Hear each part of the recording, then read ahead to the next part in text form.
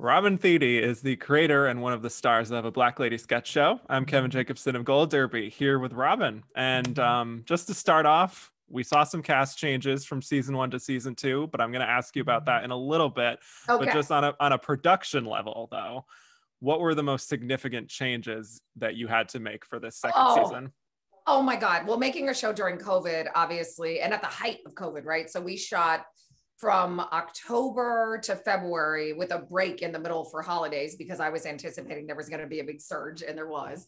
Um, it seems like ancient history now, but we shot at the height of the worst part of the global pandemic to date. So um, it was nerve wracking. It was scary. It was, um, it took a massive effort on the part of hundreds of people. And, you know, we carried a nursing staff, like 20 nurses, plus a whole COVID department, another couple dozen people with us everywhere we went and we shoot on location.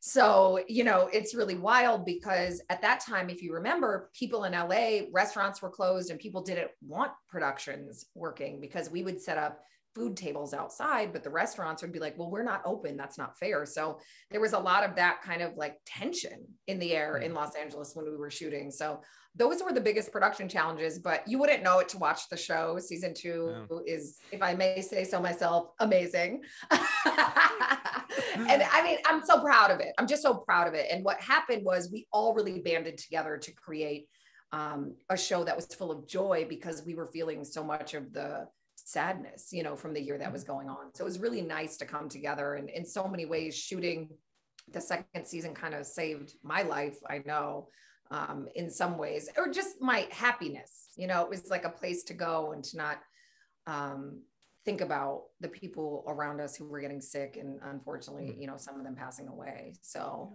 it was it was really um, bittersweet in that way, right? To to mm-hmm. have a year that was so hard for so many people, but to know that we were making something that was going to end up being um, such a source of joy. Yeah, a lot of joy for sure. But this season, we we saw the departure of Quinta Quinta Brunson. No, not I the think, departure, just the pause. Okay, the hiatus, perhaps, um, because of scheduling. I think just couldn't make it yeah, work. It was just because of scheduling. She had other things to do, and so we yeah. got pushed six months. I mean, we're lucky any of the cast was available to shoot. Yeah. Um, and so Quinta's um, doing great. She's got a new show on ABC, Abbott Elementary. Right. And um, and she's still with us and a part of the family. So we will see what happens in season three scheduling wise, but we all have every intention of being together. Um, and we'll see what happens. Um, so, you know, this is a show where I don't stop anybody, I don't keep anybody in these um, you know, we make only a few episodes a year, right? So it's really important that they're able to succeed and do other things outside of this show. I would never stop my sisters from doing other amazing things. And I know most showrunners don't work like that, but for me, it's really important that um, that they feel like this is their family and their home space to come play, but that the rest of the year they're still able to make a great living and have a great career. That's amazing. They're not locked into like a seven year contract. They're locked into a contract, but okay. but still but have like freedom. When, when the yeah. scheduling conflict came up, I wasn't going to stop her from from doing right. anything, you know. Right. And so it was just unfortunate the way it worked out. But mm-hmm. um, and I know that the fans miss her. We missed her on set, but but we talked to her. I talked to her every other day. Like you know, she's she hasn't gone anywhere. She's still a part of this family, and and and we're so excited to um, you know, just see what happens in the future. It's kind of like you know, Maya Rudolph left the cast of SNL a long time ago, but she's on the show every, you know, every few months, you know. So it's just it's just part of the same sort of family. And I know that's hard for fans at first. Um, but I hope they can understand that it's because of my love for her and it's because I would never want to stop her from from doing anything else. Right. Well, two new members of the family came on board season two, Laci and Skye, uh, Laci Mosley and Skye Townsend. Um, what was it that made them right for this show? Yeah. Okay. So so Skye Townsend actually got cast in December of 2019. We added her as a fifth cast member um, from the original four of us, um, and so she had to keep this secret for almost two years. It was insane. And so she um, came on with us and had already rehearsed. We were five days from shooting when we got shut down in March of 2020. So she had to keep that secret uh, another year past that. And then Laci Mosley, we added in the fall when we knew Quinta was going to have scheduling issues. So we um, added Laci to kind of round out the team. Um, and sh- they both came in and were just so clutch. Laci's physical comedy, her uh, elastic face, as I like to call it. She can make any expression funny. Um, and you know, UCB trained, really, really, really funny, versatile performer. And Skye is comedy royalty. Obviously, Robert Townsend is her father. She is a master of characters and voices, and uh, is just so, so, so dynamic. So we were really lucky to get them in this season. And I think, yeah. look, every season can have anybody in the cast, right? It's a Black Lady sketch show. It's not the Robin Thede sketch show or the Gabrielle Dennis sketch show or the Ashley Nicole Black sketch show or the Quinta Brunson sketch show. It's it's a Black Lady sketch show. So any of us, um, um, you know, we want we want this to be a home for Black women, Black women comedians who who want to come play. So um, you know, look in in subsequent seasons, I think that'll become clear. But I know um, change is tough for people who were so locked into the specific cast for season one. But I yeah. think we'll just continue to grow and expand, and people will come in and out and play, and and we'll always have this amazing environment where we can do that. Well, you also had a lot of great guest stars this season, just like you did for the first season. Um, did you have a guest star in season two that just totally exceeded your expectations in terms of how they integrate into the show? I mean, I, I have one in particular that I thought was fantastic. Honestly, Amber Riley just totally like. Oh, she's amazing. she's such a pro. Yeah. She's done four sketches with us, and she's yeah. she's the most guest starred besides Issa. Uh, yeah. But Issa is not a guest star. She's part, you know, she's an NEP and part of the family. But um, yeah, Amber Riley is just clutch. We had her in two more sketches this season, had her in two last season, and yep. she's just playing new characters and new types, and and she's she's limitless. And I I feel so lucky that she comes to play with us. A lot of the season two guest stars were me just texting people that I know and saying, please come do the show. And we were the first show for a lot of people, for Amber, for Tyler James Williams, for Gabrielle Union. We were the first show that they shot during COVID because uh, we were one of the first ones back. So they trusted us to take care of them. And, and we never had a single shutdown day on set. Um, we never had a COVID outbreak. I know a lot of shows had issues with that, but we kept everybody safe. We tested multiple times. Our poor guest stars had to get tested three or four times before they even set foot on, say, on, on the set. But um, yeah, I think Amber doesn't surprise me because I know what she can do. I think Jesse Williams surprised me how funny he was, um, but he's such a good actor. I wasn't surprised to see that. Gabrielle Union didn't surprise me because I've known her for a decade, but um, I think she may have surprised some other people and reminded them how funny she is um, in the Black Table Talk sketch. And we've been talking about doing that for like a year and a half. So I was so excited about the way it worked out. And actually, here's a scoop for Gold Derby. Dwyane Wade was supposed to come in the flesh and be in that sketch. and at the last minute, he was shooting um, his other show, another one of his other shows. So he couldn't come. And we got that cardboard cutout of him. And honestly, I, it worked out way better than if he would have been there. Yeah. Just telling her to be quiet while we waited for him to talk was so silly. Right. Well, I definitely wanted to highlight that sketch in particular because you just have this fantastic recurring character in Dr. Hadassah, um, pre PhD, of course. Thank you. Dr. Hadassah yes. Olayinka Ali Youngman, pre PhD, still has yet to get that PhD. And if you think about it, it, everyone is pre PhD, which is what's so genius about that phrase. That is true. I'm pre PhD. I'm pre yeah, I'm pre PhD. Yeah, very relatable. Super um, silly. Super silly. Yeah, she's, she's amazing. Yeah. I love the line where Gabrielle Union says she's a breadwinner, and Dr. Hadassah says that white people got you thinking bread is a prize. oh um, no, white people got you thinking bread is a prize. Yeah, that, I mean it's it's really ridiculous, and she uh, is appalled at everything Gabrielle says, which is kind of the game of cat and mouse in that sketch. It's just like she's trying to.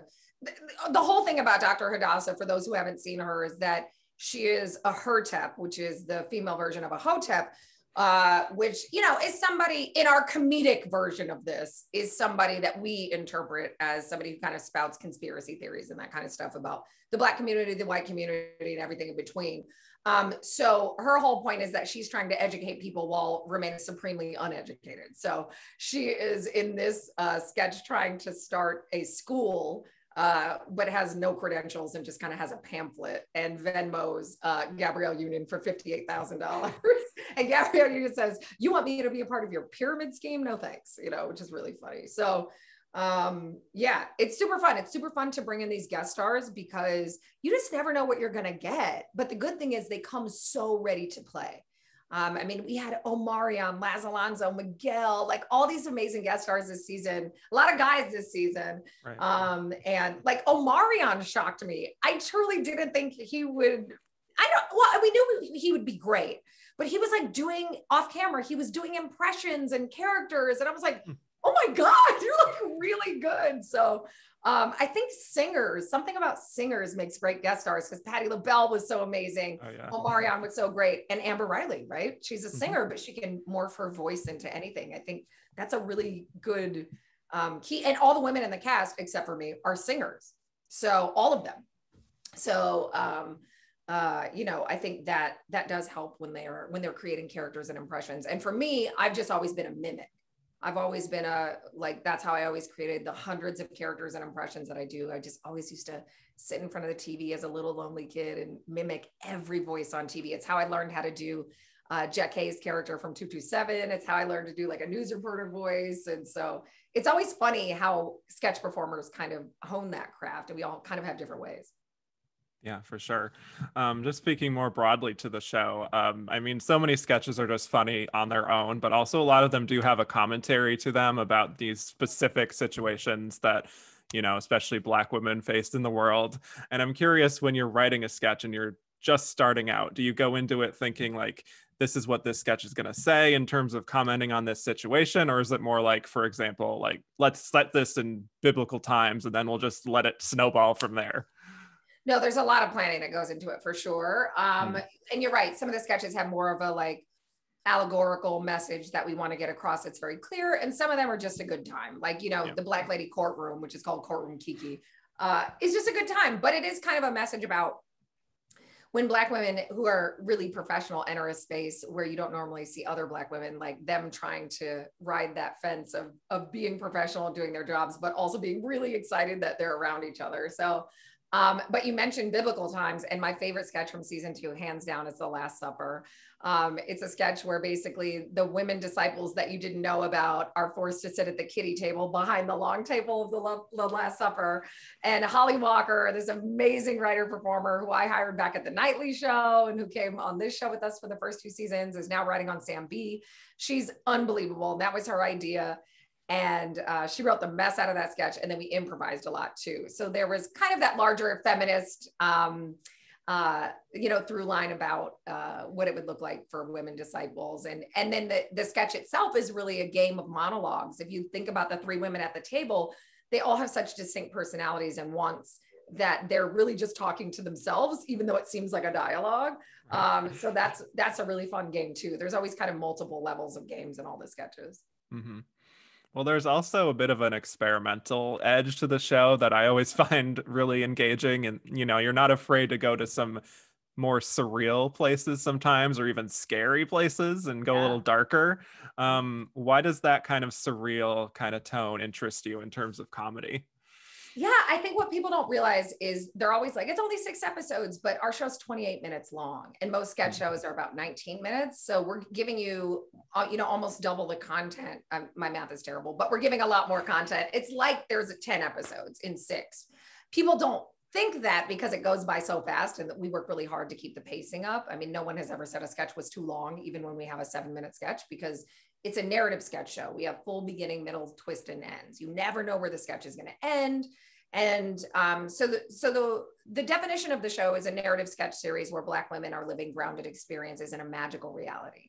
So part of that surrealism and that um, the the latitude to get darker is kind of in the definition of the show. We want to tell stories and introduce three dimensional characters played by black, black women, but they can be anything, right? They can be murderers, they can be clowns, they can be judges, they can be lawyers, they can be doctors, they can be just regular girlfriends. But the point is that we're going to play with we're going to play with genre and narrative um, all the time. So um, like for even the Last Supper sketch, we said when we were planning it with our DP and our director, we said, okay, we're going to layer on the visual look of Succession on top of this sketch to really give it a really dynamic feel. So every layer is thought about from the writing to the wardrobe, hair and makeup, to the way we shoot things, to the way we edit. So for the darker pieces, there's it's really fun for us because we get to play with horror and sci-fi and dark comedy genres um, in a way that's kind of subverting traditional narratives of those of those genres. You don't always hear about comedy being um, also horror. I mean, Jordan Peele did it really well with Get Out, but um, but yeah, we like to dive into those different genres and sort of parody genre versus parodying like pop culture because we make the show, you know, nine ten months before it airs.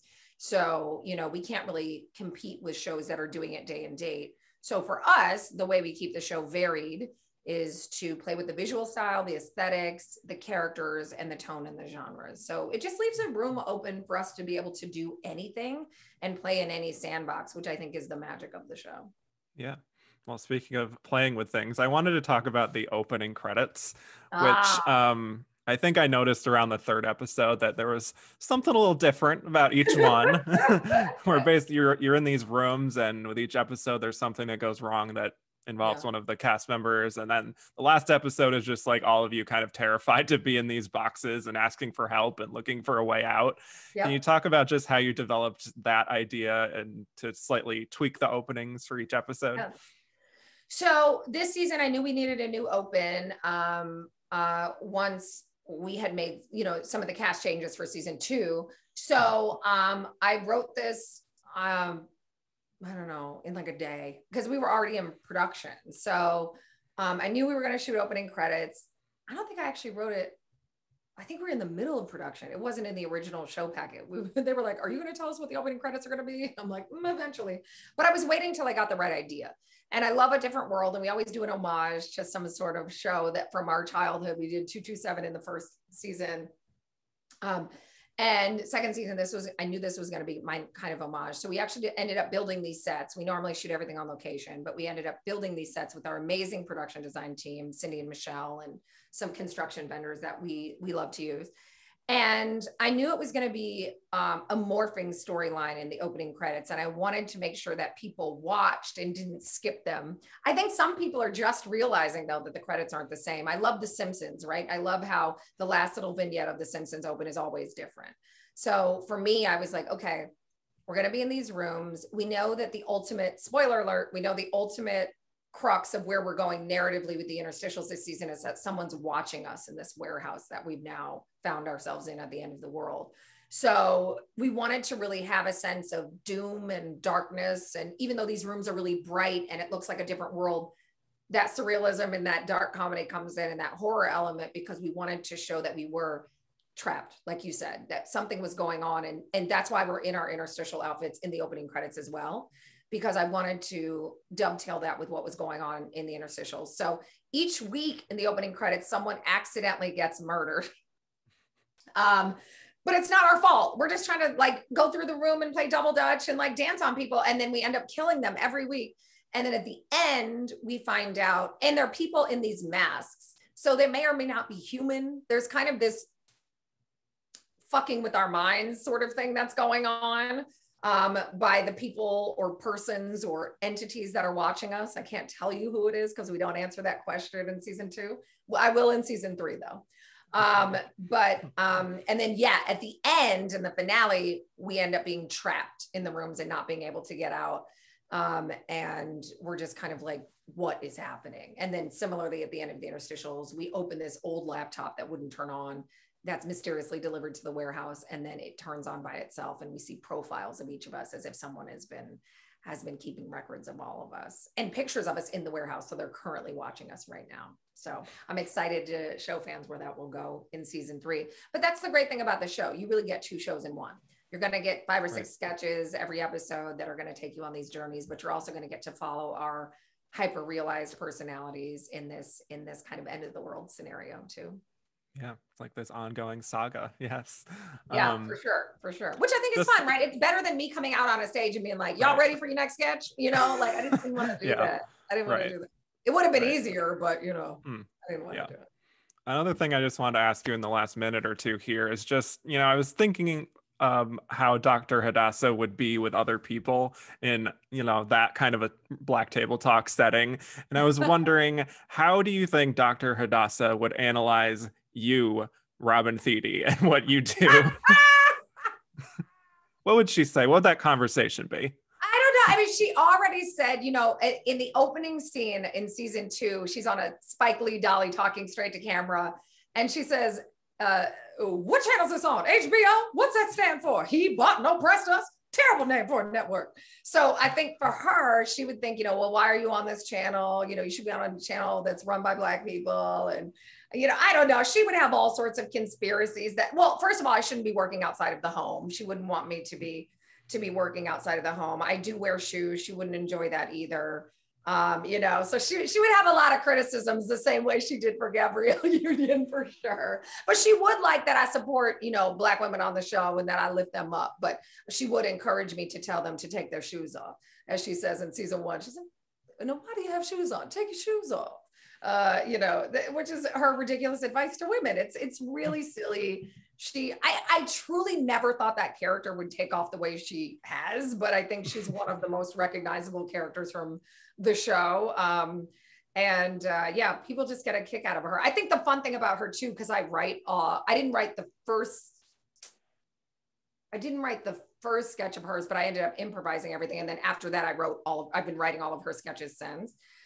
And uh, the fun thing about dr hadassah is that everything out of her mouth is a joke and most characters don't get that high joke density but hers is 100% joke density. Everything out of her mouth is a joke which is so fun. You know it's fun to play a character like that.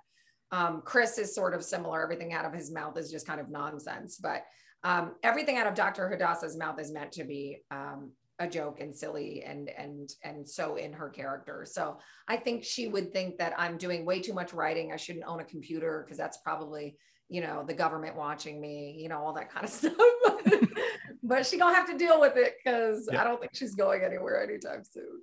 There you go.